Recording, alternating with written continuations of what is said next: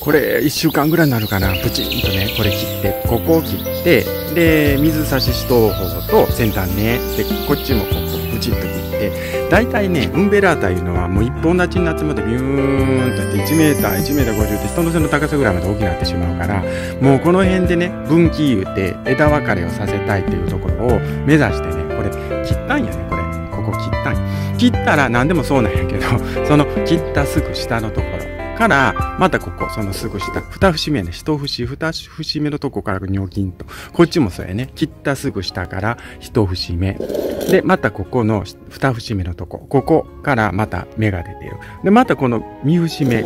ここ、三つ目のとこ。ここからまた芽が出てだからここから枝、えっ、と、新芽、新芽、二つ目。ここ三つ目言うて、こんな感じでね、うん、大きくなっていくもんだよね。これね、あの、梅雨時の、まあ、実験やってみよう思って、やっと思い切ってね、これ、切ったんですよ。うん。だからこの白鉢もずっと外に、玄関ポーチのね、前に出しとんやけど、さすが梅雨やね。うん。こんなところに、ほら、こんな、いてるけどね、なめくじ、梅雨やわ。いや、ポンと落として。はい、えー、いうことでね、梅雨時事情。はい。そしたらね、あの、外に置いてたやつを室内に取り込んでみたんですけれども、これでね、えっ、ー、と、6月2日に切った時ね、全然なかった棒状だったやつが、あの、こんな風にね、1ヶ月かかるね。これ、ちょうど今7月入ったところなんでね、1ヶ月入ったら、このブチッ切ったところから、これぐらい、これぐらい伸びてきます。え、ー、と、さっき、えー、説明したようにですね、えー、節になってるところ、この節になってるところから、えー、こっから、えー、新芽が発芽してる。それが一番、えー、上のところが1段目、2段目、3段目いうことでね。だからあのやつが、あのウンベラータがビューンと一本立ちになってたやつが、やっとここに来て切られてどうなるかって思ったけどね。ここでこんな感じで、ニョキ、ニョキこれで枝分かれ、分岐をした、えっ、ー、と、観葉植物として、これから育てていくことになるんだね。ドキッとするでしょ？一本の、あの、ね、えー、観葉植物が切られてしまって。で、切られた方も、こんな感じでね、はい。えっ、ー、と、3本切りしたいね。これ、えっ、と、3本。どう説明しようかな。えっと、1、2、3みたいなのがこれ。で、どれもね、えー、一番頂点になってるやつは、そのまんま、えー、っと、こう、根っこが出てきてるのね。で、その下の切られたところが、ここ、どうなっとったかな？こうなっとったかな？こっちやったんかな？ちょっと書いてないけど。こう、こうなってるみたいな。えー、っと、まあ一回組み立ててみてもええと思うんやけど、こんな感じでどれもこれもね、根っこが出てます。切られたところから根っこが出て、で、えー、なお、なおのことこう、そこから締めが出てるんで、これもね、またあの、これはちょっと根っこ少ないけどね、どうでもこれ新芽が出てきてくれてるんで、土にね、植えてやると、これ、植えてやると、また一つ、うん、植物が増えると。だから3本切りしたんで、えー、これが親でしょ？で、2本目、3、えっと、2本目、え1本目、2本、3、3つできたよね、これ。うん。だここ6つあるのよ、これ。6つ。なおかつね、えっと、葉っぱをね、葉差ししたやつをまたお伝えしたいと思いますね。それも面白いんでね、それもね、えー、どうぞ見てくださいね。自然の暮らし、君ポン広場。はい、えー、君ポン広場です。いつもご視聴いただきありがとうございます。いや、まあ蒸し暑いね。もう1月に入ったけど、湿度が、えーと、この間もお話した線状降水帯。うん、ここは降ってないんやけど、九州がバーっとね、もうなんかもう、警報的レベル。うん、だからじどーっとしとんやけど、じどーっとしとる時こそ、これね、もうあの、よう分かっとんやけどね、あのー、刺し木をしたり、刺し目をしたりして、えっ、ー、と、切られたところの下から芽が出てくるいうのはね、常識的なことなんやけどね。でもこれも、ずっと前の動画でもいろいろお話しさせてもらってる、後ろに観葉植物があって、まあこういう、あのー、えっ、ー、と、こればパキラやったっけ？なんだって、いろいろね、いろんなもん置いとんですが、でもね、こうやってバーっとこう、株立ちになったって、株立ちっていうのは一本じゃなくて、こういう風になってるやつはね、ある程度切られても、勇気がいらんねんね。切ってもそこからパッとこう出てくれるもう分かっとうから。でもね、一本立ちのやつってね、下葉っぱないのに、こうもう今脇目出てるじゃないけど、鉛筆状態でね、上だけ葉っぱがクヤーってこうなっててね、切るっていう、切るっていうその勇気。うん。まあ20年以上ガーデニングの仕事やっとってね、なかなかそれに挑戦してなかったら、やっぱりそれを切るっていう不安みたいなのがね、やっぱあるね。うん、あるんやけど、これね、えっ、ー、と、切ったやつをね、次差しとうだけでさっき見てもらったように、6月2日、今日も7月の、えー、3日になったとか、ちょうど1ヶ月だった状態ね。もうこんなことになりました。うん。こんなことになって、で、これ、この状態で、まあ写真上げとんやけどね、これ切ったとこからほんま動画撮っとったらよかったんやけど、実は不安やったから、なんや、目出てこへんかったやんか、みたいな。これ目出とるでしょ目、実はね、こう、こう、なっとって、で、これが、こうなっとって、こう、なっとって、ここ、こんな感じ。映っとうかな？映ってないかな？ああ、こう、こうなっとったんです。それでね、ここでプチンと切ったのがこれ。で、その次にここでプチンと切ったのが、えー、これで3つで。これが一番頂点になっとったやつ。頂点一番上ね。うん。頂点になっとったやつが、だからこうなっとったやつを切って、ここに瓶に刺しとっただけなんやけど、これ一回ちょっと元にね、戻してみました。皆さんにちょっと、あのー、結果報告見てもらおうかなと思って。ちょっとこれ、これがこっちの、こっちの方です。で、これがこっちの方です。これもね、株立ち、株立ちっていうのは切られてこうなって売ってるウンベラータもあるんですよ。うん。こっからこうなっとって、あの、こうわさっとなってるウンベラータもあるよね。それちょっと高い。高い。それちょっと安い。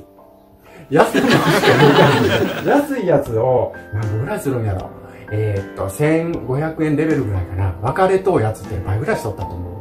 うん、人気飲酒になっとった時もっと値段良かったけどね。それが増殖生産者が増殖できるようになってきて、人気やから、ほんなら値段がどんどん落ちてきて、1000円ちょっとぐらい、1500円ぐらいで買えるっていう感じ。で、だからこっちも、あ、こんな値段で買えるわ、思って、一回買って、また買って、2本だけあったんです。2本、2本、えっと、金庫のうちにね。で、これも、こんな感じで、こんな感じで、ここでこうなってて。これ葉っぱないよ。全然葉っぱなかったのよ。うん。1ヶ月の間にこうなった。ちょっとね、近くでご覧ください。カメラさんお願いします。こんな感じです。だから、えっと、これ、一本立ちで何にもこんなとこ出てなかったよね。でも、この切られた下から芽が出て、切られて、この下節からまた芽が出て、で、一番下のところのここからこう芽が出て。こっちの方も同じです。チョキンと切られたところのここから芽が出て、その、この下の節ね、節。この節のとこから上がる。節のとこから上がってくる。これも植物の原理なんやろね。こんなとこからでも、まだ出ようとしてます。すっごい生命力やね。ウンベラータってそれぐらい強い植物なのかもしれないですね。だから、一番頂点にあった部分、これはもうそのまんま生育してます。だから、えっと、ここで、ここで、ここで、ちょ、ここで貯金と切って、その次の段で切られたところと、次の段で切られたところ。で、これが一番下で切ったところなんですけど、これはちょっと根の出が、あの、悪いね。遅いっていうか。でも芽が出てるから、だから死んではないね、これ。うん。一番最初に切ったとこがやっぱり根っこの出が悪いという結果です。こっちの、えー、右側の方も同じだよね。これが一番先端でずーっと繋がってたところで、貯金、それからここで貯金、それからこここで貯金。一番上のところっていうのはやっぱり芽がついてるだけあっあってかな。うん。ものすごい根がぎっしりしてます。こちらの方も、ものすごい根がぎっしりしてます。先っちょがあるからね。うん。だから光合成をして根っこが出す力が強いんやろね。で、二節になってるところの、ここの部分。ここも芽は出てなかったんやけど、水の吸い上げがいいのかなうん。根っこの出がいいです。こっちも、根っこの出がいいですね。こんな感じ。一番下のところも、かなり元気なんやけど、根っこがちょっとちっちゃい。うん。大丈夫っぽいけどね、水味しとったら。まだ土に植えるのはちょっと過酷かなと思ったりしてるんです。でも、これ、ねすごいね、これ、ここ、それから、ここ、3、1、2、3、4、5。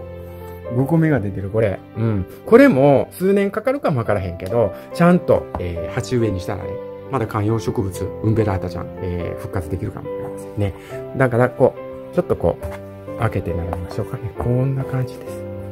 こんな感じです。はい。こんな感じになりました。だから、えっ、と、こちらの部分が、ここ、えー、3点。はい、スタートしました。で、右側の方、こちらの方も同じように3点。だいたいね、15センチから20センチぐらいまででカットする方がいいみたいですね。そのカットするところの、この節目があるところから、えー、自然にこう芽が出てくる。うん。こんな感じで。はい、えー、出来上がりました。はい。そしたらね、えー、おまけがあります。ちょっと、えー、見に行ってくださいね。こちらこちらで、えー、っと、こんな感じで増えるということでね、お話しさせていただきました。さあ、続いて、おまけ動画見てください。はい、えー、ちょっとね、こっちにね、えー、こんなことしたんやね。あの、葉っぱをね、切り落としたやつ、縁に出とった葉っぱをね。ほんで、これね、どうなるかなと思ったらね、すごいことになっとんよ。これ、水差しで、ウンベラータの水差し。ほら。えー、これも、これもご覧ください。これ、根っこ。よいしょ。